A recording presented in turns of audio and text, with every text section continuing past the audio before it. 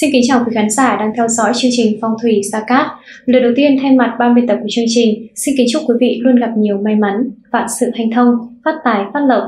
Thưa quý vị và các bạn, để biết trước những gì xảy ra với mình trong năm mới 2023, quý vị cần phải xem tử vi tuổi Tân Mùi sinh năm 1991. Đây là phương pháp chính xác, khoa học và lý giải cặn kẽ, logic nhất về vận hạn của con người. Ngoài việc xem cho mình, bạn cũng sẽ nắm được vận hạn của bạn bè và người thân. Khi xem tử vi cho Tân Mùi 1991 trong năm 2023 quý mão này, bạn sẽ nắm bắt được cuộc sống của chính mình về các mặt như tiền bạc, công danh sự nghiệp cũng như tình duyên, gia đạo và sức khỏe. Qua đó sẽ giúp bạn có được những bước đi vững chắc trong tương lai của mình. Sau đây là phần luận giải tử vi về lá số tử vi của tuổi Tân Mùi sinh năm 1991 trong năm 2023 của thầy Gia Cát. Mời quý vị cùng các bạn hãy lắng nghe. Thưa quý vị, để có được một năm mới may mắn và bình an, vào đầu năm các chuyên gia phong thủy khuyên mọi người làm lễ nghênh tài tuế khi cúng sao thừa ngoài sân để cho vận trình sức khỏe và gia đạo được hanh thông thuận lợi. Thầy Gia Cát khuyên gia chủ hãy mang theo bên mình một kim bài thái tuế để nghênh đón thái tuế, mang lại may mắn và bình an. Đặc biệt, kim bài thái tuế của phong thủy Gia Cát được thầy Gia Cát trực tiếp khai quang, trì chú và xem ngày sử dụng cho gia chủ Tân Mùi sinh năm 1991 để mang lại tác dụng phong thủy tốt nhất hiện nay. Vậy nên gia chủ hoàn toàn có thể yên tâm khi sử dụng kim bài thái tuế của thầy. Tổng quan vận mệnh tuổi Tân Mùi sinh năm 1991 năm mệnh trong năm 2023 Xét về tương quan thái tuế, năm nay người tuổi tân mùi gặp cục diện bán hợp mộc cục, báo hiệu một năm nhiều đổi mới, nhiều cơ hội phát triển đang chờ đón. Sự nghiệp có nhiều cơ may thăng tiến, có lợi cho các hạng mục, dự án hợp tác, mưu sự được quý nhân chỉ đường và dẫn lối. Đồng thời trong năm 2023, bản mệnh có nhiều cơ hội giải tỏa áp lực, tinh thần như là đi du lịch, tham gia các hoạt động vui chơi giải trí hoặc ẩm thực. Xét về vận hạn năm Quý Mão 2023, Tân Mùi 1991 năm mệnh gặp phải Sao chiếu mệnh là sao vân hớn, vận hạ thiên la, hạn tam tai, gia chủ không phạm tam tai, hạn hoang ốc, phạm hoang ốc, kim lâu, rơi vào hạn kim lâu. Về địa chi, mùi gặp mão tạo cục diện tam hợp rất tốt, ví như gặp được quý nhân giúp sức, công việc làm ăn suôn sẻ, có nhiều khởi sắc cả về tiền bạc và tình cảm. Xét về mối quan hệ thiên can, tân âm kim gặp quý âm thủy là thiên ấn, nghĩa là bản thân được sinh phù. Trong năm nay, những gia chủ tân mùi nếu có cơ hội nên chủ động chấp nhận thử thách để có kết quả tốt hơn. Trong năm quý mão 2023, gia chủ tân mùi 1991 cần chú ý tháng ất sửu, tháng tháng 12 âm lịch, từ ngày 11 tháng 1 đến ngày 9 tháng 2 năm 2024 dương lịch. Đây là những ngày đại kỵ với gia chủ Tân Mùi sinh năm 1991. Vào những ngày này, cần hết sức đề phòng tiểu nhân tìm cách quấy phá, những thị phi không độ ập tới. Xem sao chiếu mệnh, vận hạn và cách hóa giải cho Tân Mùi sinh năm 1991 nam mệnh. Trong năm 2023, Nam Mạo Tân Mùi sinh năm 1991 gặp sao Vân Hớn chiếu mệnh. Sao Vân Hớn là một hung tinh chủ về bệnh tật, nữ nhân khó sinh họa huyết quang, nam nhân thì quan trường bất lợi, gia đình bất an, điền sản bất vượng, tự phải cẩn trọng. Đàn ông hay đàn bà gặp sao này chiếu mạng, làm ăn mọi việc đều trung bình, khẩu thiệt, phòng thương tật, ốm đau, nóng nảy, mồm miệng. Năm gặp tai tinh, bị kiện thưa bất lợi, nữ không tốt về thai sản, nhất là vào tháng 2 và tháng 8 âm lịch. Hóa giải vận hạn sau vân hớn bằng cách cúng dâng sau giải hạn vào 9 đến 11 giờ ngày 29 âm lịch hàng tháng hướng về hướng Nam. Lễ vật bao gồm 15 ngọn nến hoặc đèn, bài vị màu đỏ của vân hớn tinh, mũ đỏ, tiền vàng, gạo muối, nước trầu cao, hương hoa, ngũ oản. Bài vị sau vân hớn giấy trắng viết dòng chữ Nam phương bính đinh hỏa, đức tinh quân tiền vị hoặc đơn giản hơn sử dụng nguyên tắc là sao xấu thuộc ngũ hành nào tiết giảm đi, còn sao tốt thì chọn ngũ hành tương ứng hoặc sinh ra ngũ hành đó. Cụ thể sao vân hớn ngũ hành là hỏa nên dùng hành thổ để tiết khí hành hỏa của sao xấu. Cụ thể như đeo trang sức đá quý màu vàng, màu nâu như thạch anh vàng, thạch anh tóc vàng, thạch anh yêu linh lâu, hổ phách, Tuổi Tân Mùi sinh năm 1991 năm mệnh năm nay gặp hạn thiên la. Khi gặp phải hạn này, tâm lý sẽ bất an, quỷ ma quấy phá, có bệnh kỳ quái.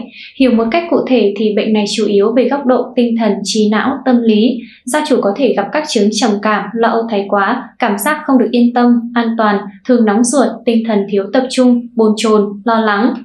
Có một số sách khác ghi chép thêm khi gặp hạn thiên lan này, vợ chồng thường mâu thuẫn, bất hòa cãi vã, gia đạo lục đục chắc trở, thường xảy ra cãi vã ghen tuông. Hạn thiên la là hạn chủ về sức khỏe, tình cảm và tâm lý. Để hóa giải niên hạn này, gia chủ cần quan tâm và dành nhiều thời gian chăm sóc bản thân. Về sức khỏe, cách tốt nhất là dành thời gian nghỉ ngơi, lập chế độ ăn uống hợp lý, sau đó hãy kết hợp với rèn luyện thể dục thể thao, tránh sử dụng các chất kích thích có hại cho sức khỏe. Về mặt tình cảm, các mối quan hệ trong giao tiếp, hãy cẩn thận trong từng hành động và lời nói, tránh vướng vào thị phi. Về tâm lý, cần bình tâm và suy nghĩ kỹ càng mọi việc, không nên tự lo âu phiền muộn, thay vào đó hãy tìm người tâm sự, chia sẻ niềm vui trong cuộc sống, không nên chất đựng quá nhiều ấm ức trong lòng, điều này khiến tâm trạng ngày càng trầm trọng dẫn đến các bệnh kỳ quái. Luận tử vi Tân Mùi sinh năm 1991 năm mệnh theo tháng âm lịch năm 2023. Tháng 1, sức khỏe trong tháng đầu năm nay không được tốt, Tân Mùi Nam Mạng cần chú ý đến căn bệnh liên quan đến đường tiêu hóa, tiết niệu. Tháng 2, đây là tháng công việc làm ăn của những thành viên trong gia đình không được tốt, bên cạnh đó có kẻ phá hoại. Tháng 3, tuổi Tân Mùi trong tháng 3 được quý nhân giúp đỡ, công việc theo đó cũng thuận lợi, trong gia đạo đón nhiều chuyện buồn phiền. Tháng 4, đón tin vui về việc thêm người thêm của ở tháng này, bên cạnh đó còn có tài lộc đưa tới cho các gia chủ tân mùi nam mạng. Tháng 5, mối quan hệ của các thành viên trong gia đạo ở tháng 5 không được tốt, thiếu hòa khí, ngoài ra sức khỏe của gia chủ cũng không tốt. Tháng 6, đây là tháng nam mạng cần phải hết sức cẩn thận trong việc di chuyển, đi lại sẽ hạn chế được những tai nạn. Tháng 7, trong tháng này tiền bạc tuổi tân mùi có sự hao tán nhiều, bên cạnh đó đường ăn uống kém, Tháng 8, sức khỏe của tân mùi nam mạng trong tháng này không được tốt, chú ý các bệnh liên quan đến tê thấp, nhức mỏi chân tay. Tháng 9, tiền bạc trong tháng này có sự hao tán nhiều, công việc của gia chủ có sự thay đổi nhiều. Tháng 10, khi ra ngoài may mắn gặp được quý nhân giúp đỡ nên công việc gì cũng được hành thông. Tháng 11, khi xuất hành gia chủ cần chú ý xe cộ. Tháng 12, nhờ được ông phù dương trợ tuổi tân mùi năm mạng gặp khó khăn cũng dễ dàng vượt qua. Tổng kết tử vi tuổi Tân Mùi sinh năm 1991 năm mạng trong năm Quý Mão 2023 về sự nghiệp.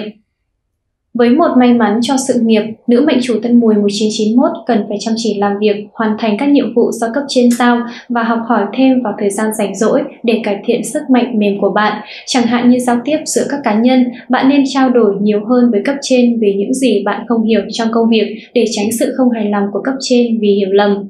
Ngoài ra, các gia chủ Tân Mùi sinh năm 1991 trong năm nay cũng phải phân rõ được công và việc tư, không để chuyện tình cảm gây ảnh hưởng đến quyết định của mình.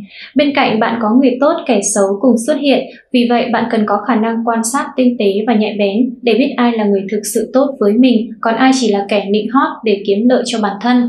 Với những người làm nghề tự do, bản mệnh cần xác định rõ ràng mục tiêu cho mình, không nên quá tham lam làm những việc thiếu đạo đức, bởi những việc làm này sẽ gây ra nguy hiểm và thị phi cho chính bạn. Về tài chính, phương diện tiền bạc của bản mệnh nhìn chung có xu hướng phát triển hơn năm trước đó. Bản mệnh có thể tìm được hướng đi phù hợp với mình, khiến đồng tiền chảy vào túi dễ dàng hơn. Bạn có một năm khá rủng rỉnh, không cần lo nghĩ nhiều. Với những người còn trẻ tuổi còn chưa có nhiều kinh nghiệm trong chuyện làm ăn, kinh doanh thì bạn nên dành thời gian để học hỏi, tích lũy kinh nghiệm nhiều hơn, trở nên ham giàu, chạy theo lời rủ dê lôi kéo của người này, người khác. Về sức khỏe, Sức khỏe bình thường sẽ không có gì thay đổi lớn nào xảy ra với bạn. Đừng để cơ thể bằng cách thức khuya uống rượu với lý do là tuổi trẻ. Ngoài ra, hãy chú ý đến sức khỏe của người lớn tuổi trong gia đình bạn. Nếu bạn đã có những tiểu sử bệnh tật trước đó, hãy chú ý hơn đến cơ thể của bạn trong trường hợp tái phát. Nếu bạn có cơ hội thực hiện những chuyến đi ngắn cùng gia đình, hãy nắm lấy cơ hội đi ra ngoài và hít thở không khí trong lành sẽ tốt cho sức khỏe của bạn. Lái xe phải đặc biệt chú ý đến an toàn giao thông trong năm nay. Nếu có thời gian nên đi chùa thường xuyên để tâm được tĩnh, mệnh chủ năm nay sẽ cần phải sử dụng vòng cổ, bát bảo tâm kinh để bổ trợ thân mệnh cho mình. Đây là pháp khí phong thủy của nhà Phật, mang lại sức khỏe, giúp chiêu vận quý nhân, kích tài tài nạp phúc, tăng cường hòa hợp, thiên địa nhân hợp nhất. Vật phẩm phong thủy cũng được thầy Gia Cát trực tiếp khai quang, trì chú và xem ngày sử dụng để mang lại tác dụng phong thủy tốt nhất cho gia chủ, đặc biệt gia chủ Tân Mùi 1991. Về tình cảm gia đạo, Tử vi tuổi Tân Mùi 2023 năm mạng về chuyện tình cảm không có nhiều biến động. Nếu là người đã lập gia đình, hai người đang ngày càng trở nên thấu hiểu nhau hơn và cùng nhau xây dựng mái ấm để con cái có thể trưởng thành trong điều kiện thuận lợi nhất. Nếu là người độc thân, bạn nên chủ động hơn trong các mối quan hệ, không nên chờ đợi người khác đến với mình. Dù quá trình tiếp cận đối tượng có gặp khó khăn, bạn cũng đừng nên vội vàng nhiều trí hay bỏ cuộc. Các gia chủ nên đem bên mình vòng tam hợp quý nhân hợi mão mùi, giúp kỵ tà, hóa sát, gia đình hòa hợp. Đặc biệt vòng tam hợp quý nhân cũng được thầy Gia Cát trực tiếp khai quang, trì chú và xem ngày sử dụng cho tuổi Tân Mùi sinh năm 1991 năm mạng để vật phẩm mang lại công năng phong thủy tốt nhất. Quý vị thân mến, vừa rồi chúng ta đã cùng tìm hiểu về lá số tử vi của người tuổi Tân Mùi trong năm 2023 Quý Mão. Qua đó quý vị cũng phần nào nắm được vận hạn của mình và biết được mình cần phải làm gì để có được may mắn và thành công trong năm 2023 này. Rất cảm ơn quý vị đã quan tâm theo dõi. Quý vị đừng quên nhấn nút đăng ký kênh và biểu tượng chuông thông báo để luôn là người đầu tiên nhận được những video mới nhất của chương trình. Còn bây giờ, xin chào và hẹn gặp lại quý vị trong những video tiếp theo.